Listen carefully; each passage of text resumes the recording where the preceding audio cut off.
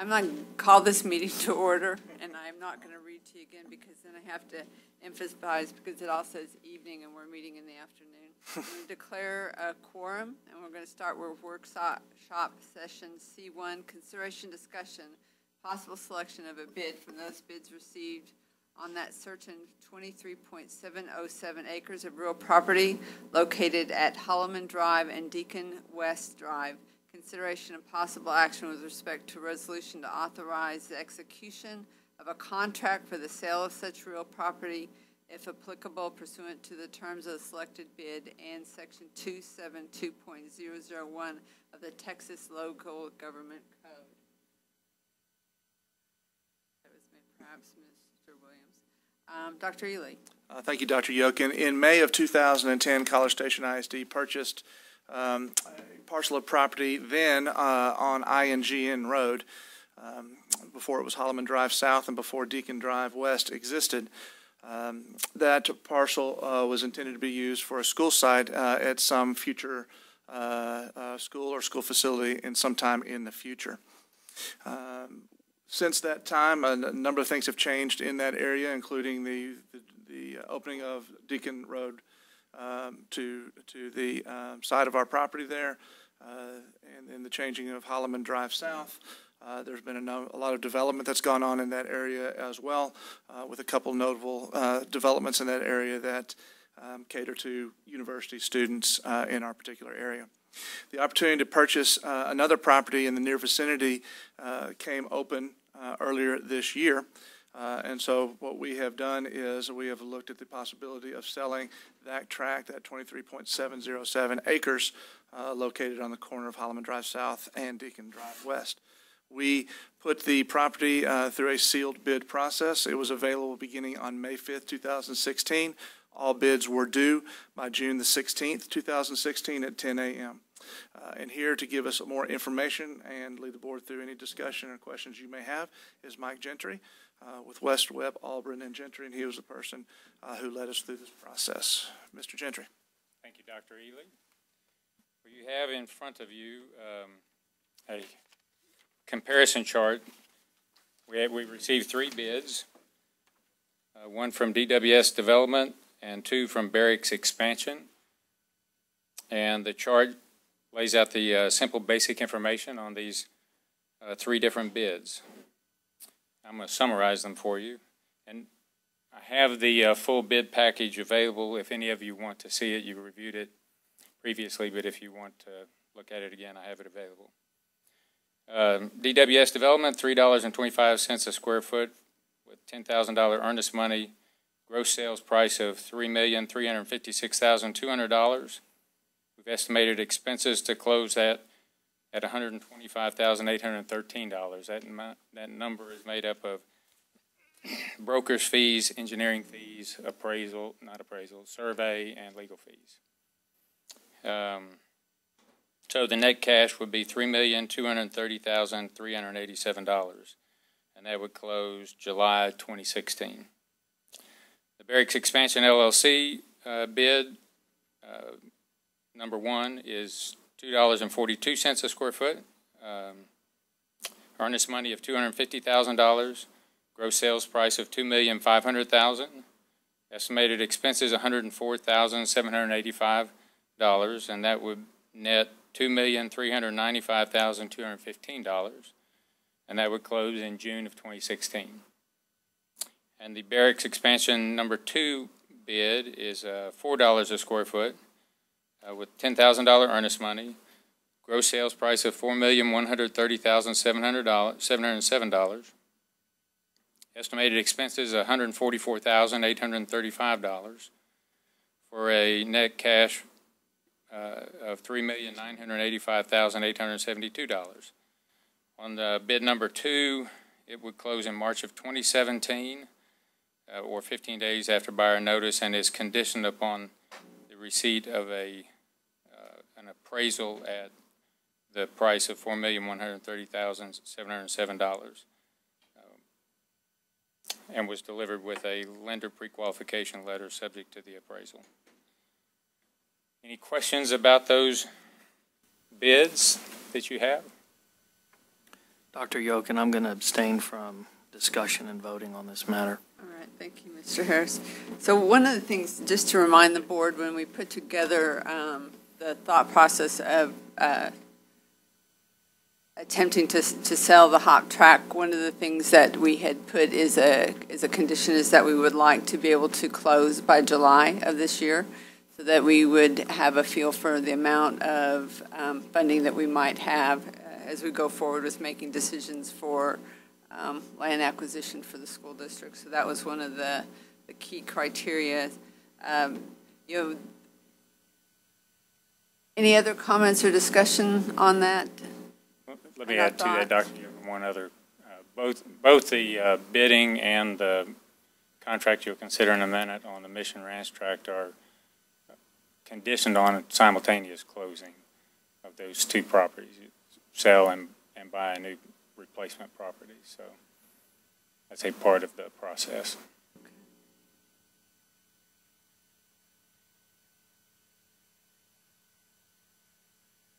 Well, I'd like to hear a little discussion before we just go straight to a motion.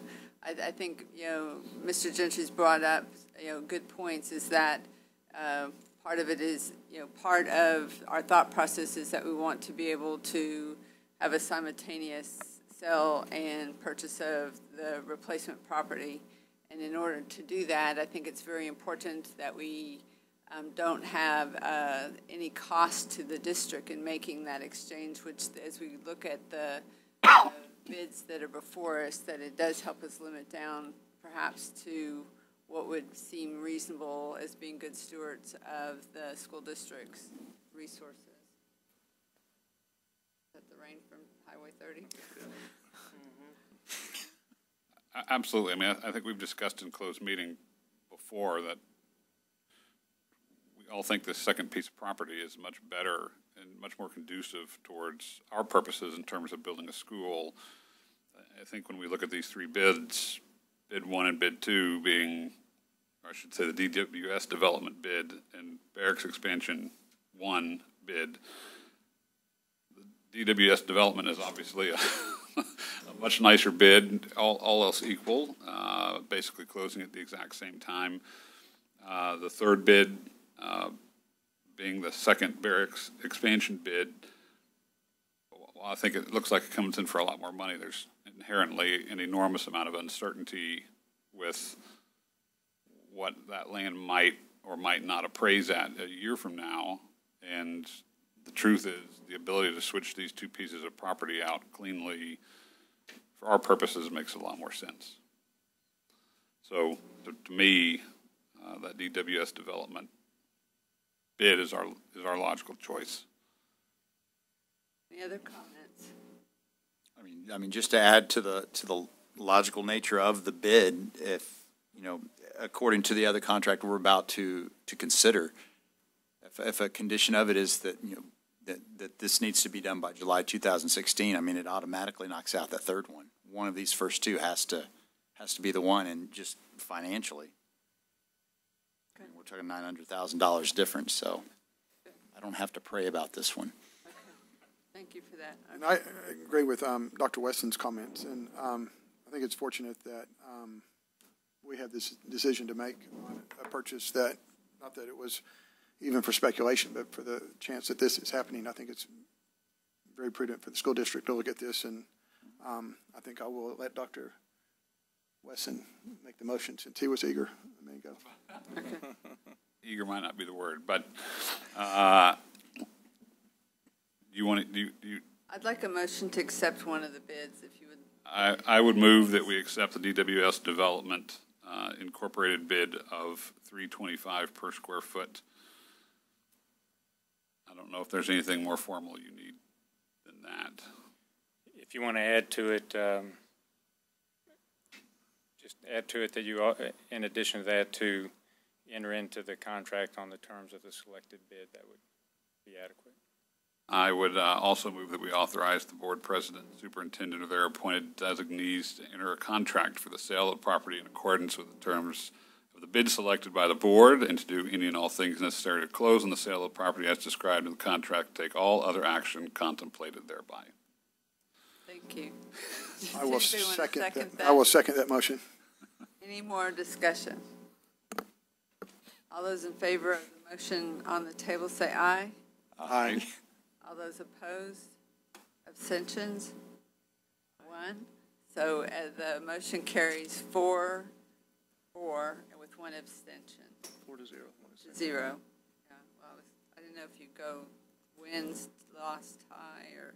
All right. Great. So we'll move on to item C2, consideration possible action with respect to a resolution for the approval, assignment, and assumption of the contract to purchase 18.74 acres of real property located at the northwest corner of Rock Prairie Road West Holleman Drive. Dr. Ely. Thank you, Dr. Yokin. As has been mentioned before, um, one of the reasons we were able to sell the Hop Track uh, is because we had an opportunity to buy uh, a piece of property that we felt was uh, of, of even greater value to the, to the school district and our um, mission to put, put school facilities on the ground in that particular area. Uh, So what we have before you um, is the assumption of a contract for 18.74 acres of property at the corner of Rock Prairie Road West and Holleman Drive, and with more information about that is Mr. Gentry. Uh, We initiated this process um, by looking at the corner of the uh, Mission Ranch project. It's a single-family development. We've gone through engineering feasibility, we've gone through um, uh, environmental site assessment of the site, we have an appra- uh, a survey of the site. Um, That, that particular piece of property is well-suited for an elementary school and is available to us, and if you're prepared to move forward on that, on a motion to approve that contract, it's currently in my name, and I'll assign it to the school district if you'll assume it. Any discussion? Thank you, Mr. Gentry. Now, it is my understanding that if something happens on the first one and they're unable to perform, we're still performing on this, correct? Both contracts are contingent upon the other contract closing.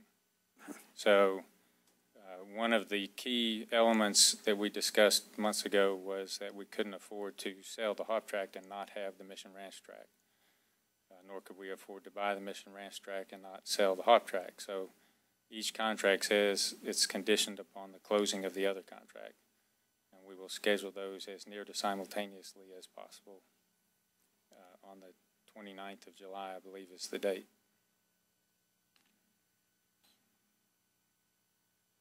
Any other questions?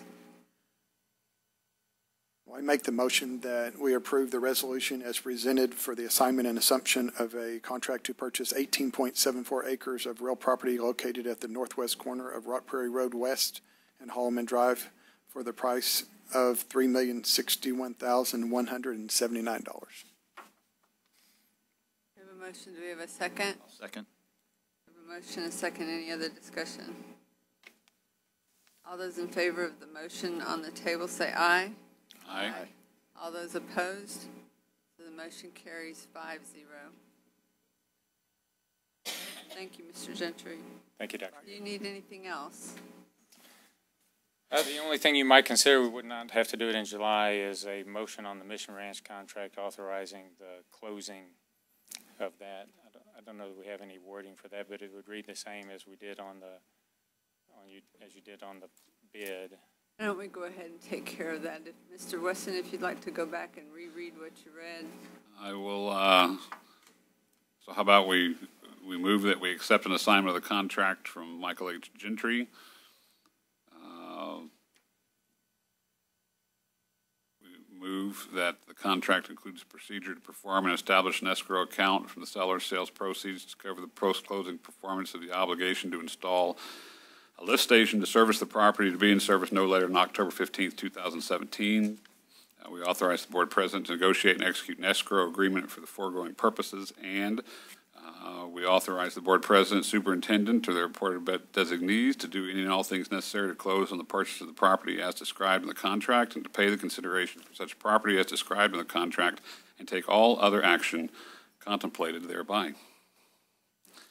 Thank you. Have a second? So elo- eloquently said, I will second that. I memorized Any it. discussion? All those in favor of the motion on the table say aye. Aye. All those opposed, the motion carries five zero. Thank you. I get, we will. Right. C three, consideration, discussion, and possible action related to the purchase of Mizuni Student Data Management Warehouse application for the amount of eighty thousand dollars to be paid for from the 2015-16 general fund. Dr. Ely? Uh, Thank you, Dr. Yokin. We're uh, um, addressing this because we were not able to get it onto the um, regularly scheduled June meeting. Uh, so we had the opportunity uh, today, we we went ahead and put it on today's uh, agenda. Um, For our, um, we we have been contemplating the purchase of a student data management warehouse for a number of years, uh, and that has uh, been a part of our long-range technology plan. It's been also a part uh, of uh, our our our district improvement plan. Uh, We have done some exhaustive research led by Mr. McIntyre, Mr. Hutchison, and others in the technology and curriculum departments to determine what was the best route forward to work with the, um, uh, the, the, the other um, products that we have like eSchool. Uh, And through that process, the Mizuni product has come to the forefront uh, as uh, the best option for us moving forward. We're contemplating action for it right now uh, under our current 15-16 uh, school year budget uh, so that we could get the, uh, get the purchase of this done, be able to transfer some of our data over to the new product and prior to the start of next school year. You may recall this was one of the exceptional items that we had uh, before you in the budget development process in earlier months when we came to the board during workshop. So with that, I've asked Mr. McIntyre to step up here in case you have any other questions on the product uh, or its capabilities. Um, And we would be looking for approval for the purchase um, uh, upcoming. So, Mr. McIntyre, if you have anything you would like to add, or You did a pretty good job there, Dr. Ely. I appreciate that. McIntyre, please. Does anybody have any other questions for Dr. Ely or Mr. McIntyre?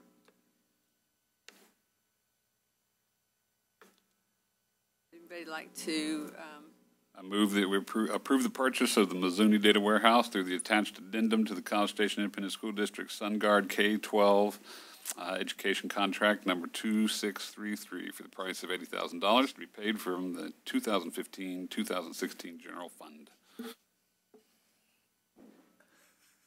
Like to second that? I'll second it. Any discussion? All those in favor of the motion on the table say aye. Aye. All those opposed? Motion carries six zero. Great job, Mr. McIntyre. Mr. McIntyre, that was outstanding. Thank you. We'll go ahead and adjourn. Thank you all for coming.